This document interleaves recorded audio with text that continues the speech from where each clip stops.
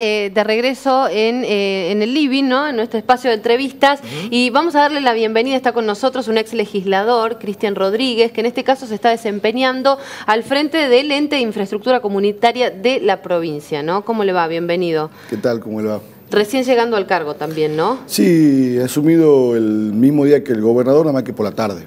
Ajá y cómo se fue acomodando a este espacio. Queríamos saber un poquito cómo trabaja, ¿no? Y, cuál es el objetivo de este ente de infraestructura que nos decía fuera de, cámara, depende directamente del de, eh, eh, gobierno, digamos, del gobernador, Juan Mansur. No hay ningún ministerio. No hay un ministerio, claro. No, no, eh, de hecho la política se articula administrativamente con la Secretaría General de Gobernación, que depende del gobernador. Perfecto.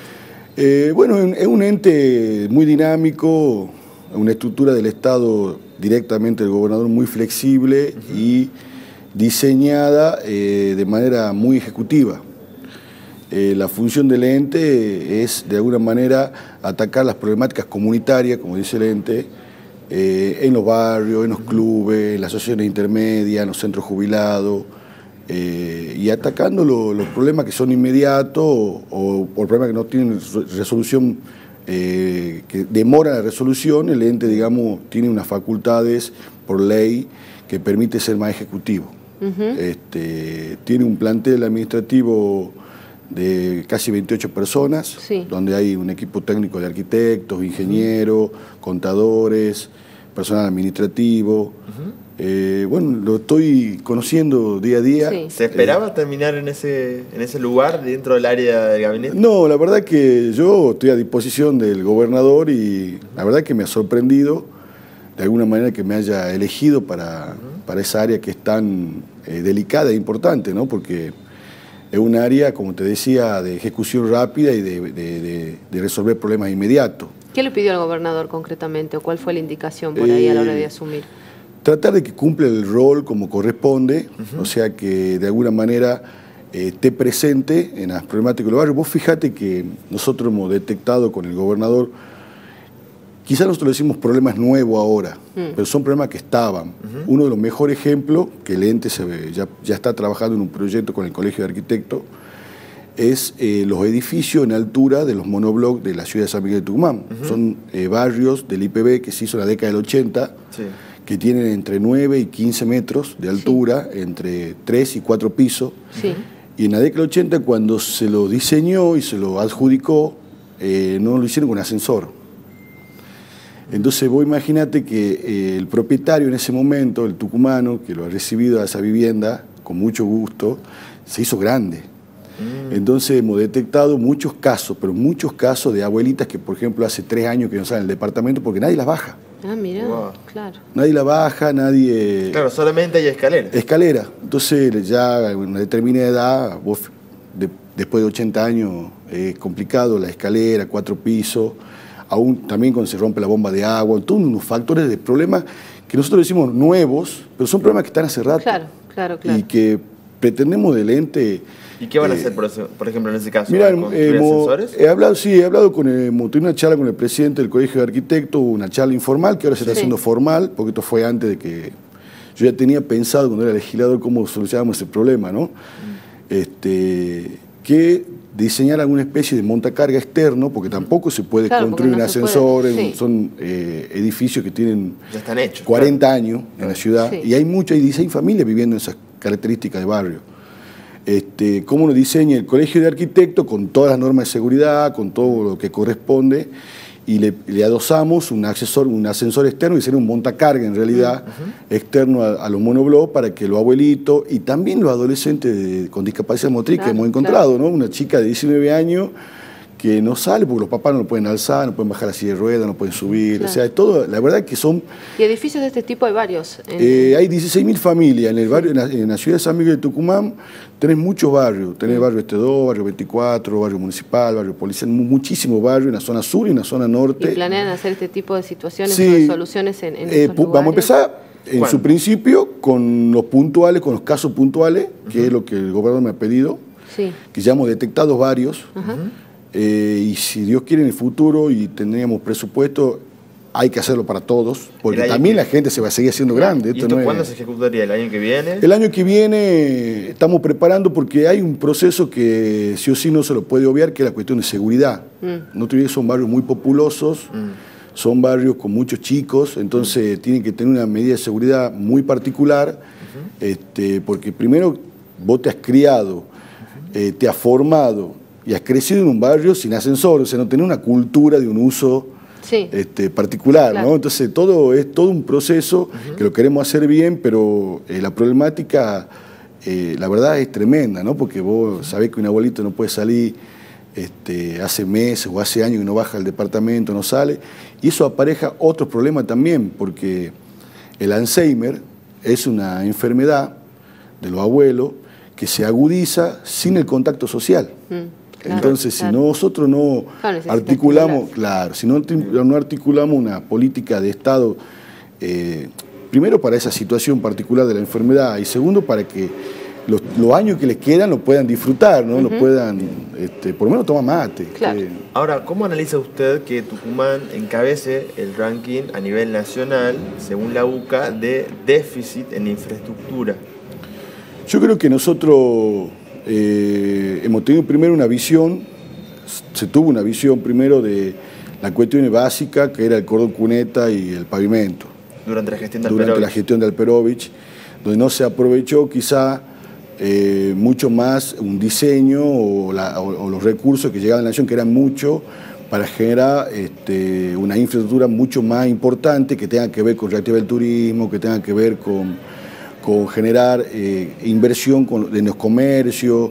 Bueno, eso se ha desperdiciado, a mi punto de vista, en esos primeros años, porque se focalizó solo en cómo conectaba las periferias hacia el centro, pero con, obras que eran básicas que también faltaban. ¿Qué pasó en el resto de los años, no? En donde no gobernó Alperovich. Yo creo que nosotros hemos tenido, hemos tenido, un problema, un problema este, particular que ha sido el, eh, eh, los cuatro años del gobierno este nacional, donde no hubo de alguna manera una planificación nacional con respecto a la provincia sobre el crecimiento, el desarrollo de infraestructura.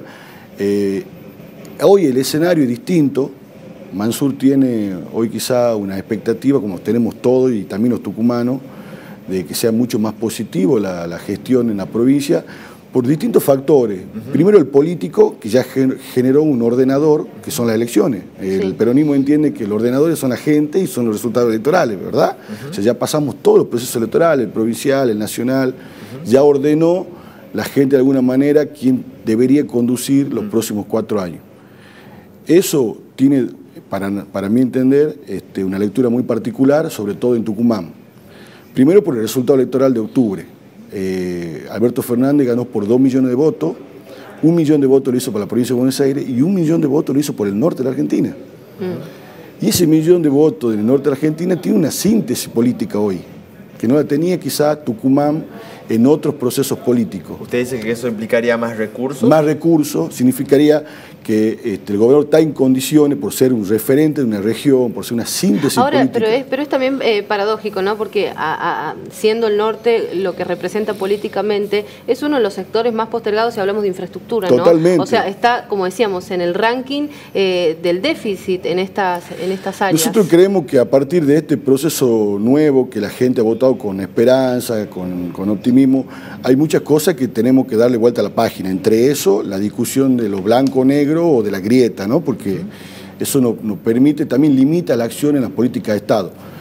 Pero más allá de eso, eh, creo que este, los ordenadores, tanto internos, políticos como en lo general, creo que eh, la gente del norte de Argentina, sobre todo en Tucumán, que los resultados son muy contundentes en cuanto a la definición de un modelo u otro, este, tiene una expectativa tremenda en función de lo que vos estás diciendo. El norte siempre ha sido, la asimetría que existe entre el centro del país y el norte es, eh, muy diferente, es, muy consolidada, muy, este, hay mucha diferencia.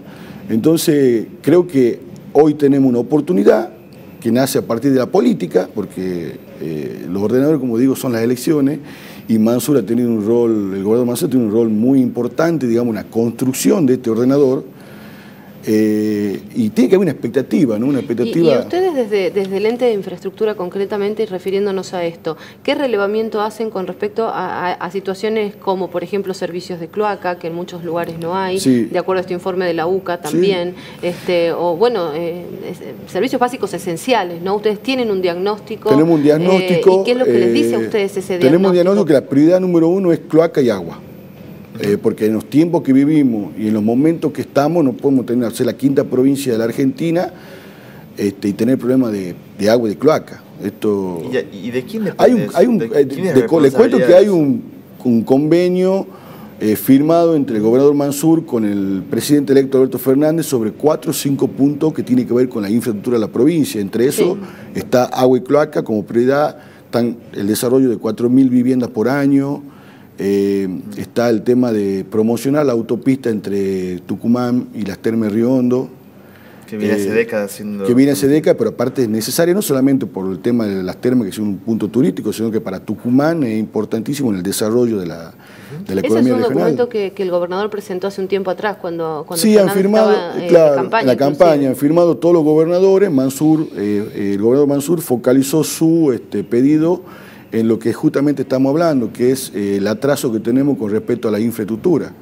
Eh, nosotros, si, si queremos poner a Tucumán como una de las provincias competidoras en las regiones de la Argentina, necesitamos eh, arreglar las rutas, necesitamos solucionar el problema de agua y cloaca, necesitamos eh, que más gente acceda al gas natural eh, y el ente va a colaborar. Nosotros, ¿Qué margen, justamente ustedes desde el ente, qué margen de acción tienen con respecto a lo presupuestario? No, no bueno, nosotros lo presupuestario hoy tenemos un presupuesto que está en los 128 millones de pesos anuales, ya está terminando obviamente el año en curso el 60%, 65%, no, no, no sé muy bien los números específicos todavía, pero está destinado al pago de personal. El personal tiene 158, 160 empleados, 28 son eh, administrativos, los demás son todo operarios. Operarios tenemos gasistas, tenemos eh, eh, herreros, tenemos carpinteros, tenemos albañiles, tenemos pintores.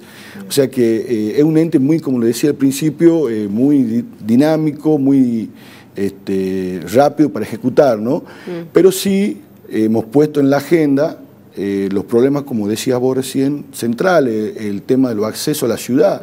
Es algo que también vamos a trabajar con el Colegio de Arquitectos, con la Facultad de Arquitectura, con el Colegio de Ingenieros, de armar los máster proyectos para ponerlo este, a disposición. Nosotros tenemos la expectativa, la esperanza de que al tener un gobierno ahora nacional del mismo signo y con la relación que el gobernador Mansur tiene dentro de, esa coyuntura política, eh, bueno, gestionar los fondos no sería un problema. Entonces, creo ¿Qué planean hacer con los accesos? Eh, mejorarlo. Creo que hay una demanda, sobre todo de, de los vecinos de San Miguel de Tucumán que demandan constantemente que los accesos de la ciudad nuestra sean mejores. Eh, cuando vienen los parientes de Europa o cuando viene algún empresario de Europa, siempre la pregunta es ¿por qué están los accesos así? Mm. Nosotros entendemos que tiene que dejar de ser, este, no tenemos la pelotita, ¿no? esto no te corresponde a vos, esto lo tengo que hacer yo, no, me, no, es mío, es de aquel. Entonces creo que esa discusión hay que dejarla atrás y avanzar en lo positivo. Nosotros vamos a colaborar el con un proyecto. En el futuro veremos los fondos. Creo que es algo que sí tenemos que, focalizarnos porque es importante para el desarrollo regional, eh, que tenerlo acceso como corresponde en la ciudad donde los turistas que vengan, o los empresarios que vengan, donde los parientes que tenemos que nos vienen a visitar, qué sé yo, una vez cada 15 años, vean una ciudad distinta. Y los mismos tucumanos que viven en los alrededores Totalmente. también, ¿no? le, cambio un poquito de tema. ¿Qué opina usted del flamante intendente de Tafiel Valle, Francisco Caliba, que ha tenido algunas acciones que se han polemizado esta semana, por ejemplo, lo que ha dicho a los trabajadores municipales de que pueden llegar quemados pero no machados. Y también el, audio en el que supuestamente él ofrecería dinero y eh, también eh, cargos para tener una mejor posición. Yo lo conozco personalmente, este, me parecen desacertadas las declaraciones eh, lo del audio es una responsabilidad pura y exclusiva de él. Lo que creo que nosotros tenemos un ordenador. Esto es quizás lo que se tendría que replantear o, analizar quizás más profundo, pero hay un ordenador que son las elecciones. Hay un ordenador que consolida el sistema democrático y, para los peronistas hay un ordenador que es la gente.